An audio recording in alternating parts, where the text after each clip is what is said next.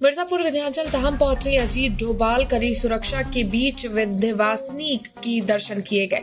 डोभाल पत्नी के साथ धाम में पहुँचे थे डीएम एसपी नगर मजिस्ट्रेट ने किया स्वागत। मंदिर परिसर में सुरक्षा को लेकर कड़े बंदोबस्त भी किए। तस्वीरें आप देख सकते हैं। ये विंध्याचल धाम की है, जहाँ पर अजीत डोभाल पहुँचे हैं और कड़ी सुरक्षा के बीच उन्होंने विंध्यवासिनी के दर्शन किए।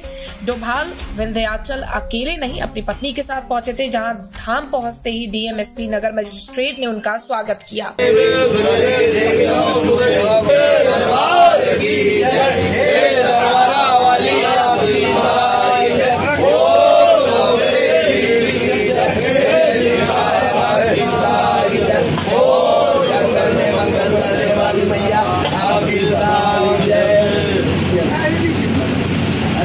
आपको